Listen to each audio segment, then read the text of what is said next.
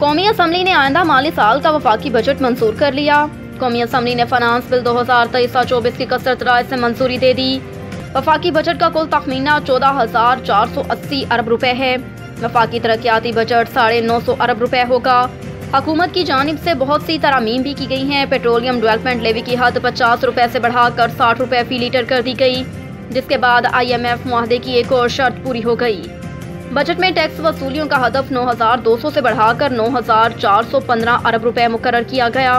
Pension अदायगी सात सौ इकसठ अरब से बढ़ाकर आठ सौ एक अरब कर दी गई। आइंदा माली साल के मंजूर शुदा बजट के मुताबिक एन एफ़ सी के तहत पाँच हज़ार दो सौ छिहत्तर अरब रुपए की बजाय पाँच हज़ार तीन सौ नब्बे अरब रुपए मिलेंगे। फाइनेंस बिल में मजीद तरमीम के तहत दो सौ पंद्रह अरब के नए टैक्स आयद किए गए। बेनजीर इनकम सपोर्ट प्रोग्राम की रकम चार सौ उनसठ अरब रुपए की बजाय चार सौ छियासठ अरब रुपए कर दी गई। पुरानी टेक्नोलॉजी वाले पंखों और पुराने बल्ब ब्रेक पर यकम जनवरी 2024 से इजाफी टैक्सों के नफाज की तरमीम मंजूर की गई है। ये तरमीम वफाकी वज़ीर खजाना इसाक डार ने पेश की। आई एम एफ़ को इसहाक डार पर अतमाद नहीं, उन्हें फिलफोर मुस्तफ़ी होना चाहिए। मुल्तान में मीडिया से गुफ्तु करते हुए शाह महमूद कुरैशी का कहना था कि आई एम एफ़ ने बजट को मुस्तरद कर दिया।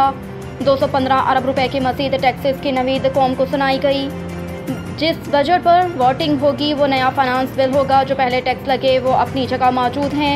अब मजीद 215 अरब रुपए के टैक्सेस लगे हैं। उन्होंने कहा कि आई एम एफ़ का इसहाक डार पर अतमाद नहीं है। वज़ीर अजम ने भी M D I M F के साथ बात की। मजीद 215 अरब रुपए का बोझ पाकिस्तानियों पर डाला है। I M F revenue target से मुतमिन नहीं, जो बातें की जा रही हैं, वो हक़ पर मबनी नहीं है। वक्ती तौर पर लोगों का मुँह बंद किया जा रहा है, लेकिन हक़ पर पर्दा नहीं डाल सकेंगे। रहनुमा पी टी आई का कहना था कि फाइनेंस बिल को रिवाइज किया जा रहा है। शहरों में बारह बारह घंटे की लोड शेडिंग हो रही है। ये बजट कौम, ताजिर, किसान और सनतकार मुस्तरद कर चुके हैं। अब आई एम एफ़ ने भी बजट मुस्तरद कर दिया। मेरी गुजारिश है, इस डार मुस्तफ़ी हों और किसी और को ज़िम्मेदारी संभालने दें।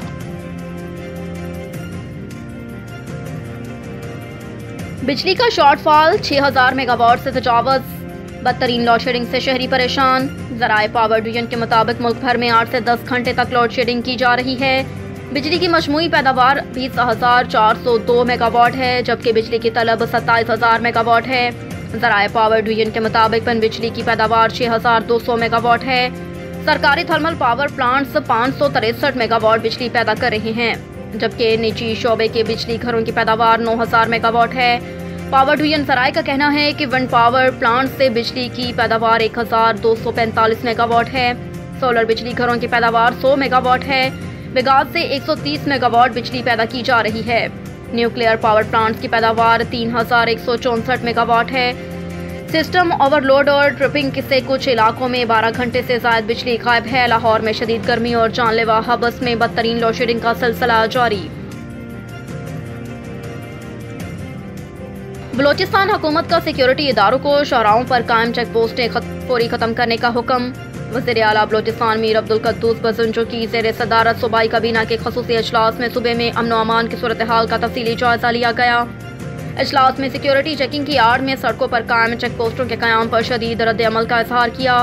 काबीना ने तमाम मुतल वफाकी और सूबाई सिक्योरिटी इदारों को शौराहों पर कायम चेक पोस्टें फौरी ख़त्म करने की हिदायत की। काबीना ने कहा कि आइंदा कोई भी इदारा सूबाई हुकूमत की इजाज़त के बगैर शौराहों पर चेक पोस्ट कायम नहीं करेगा।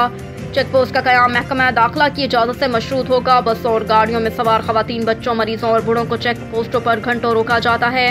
आवाम को सिक्योरिटी की फ्राहमी हुकूमत और इदारों की ज़िम्मेदारी है। चेक पोस्टों की आड़ में आवाम की तस्लील किसी सूरत कबूल नहीं।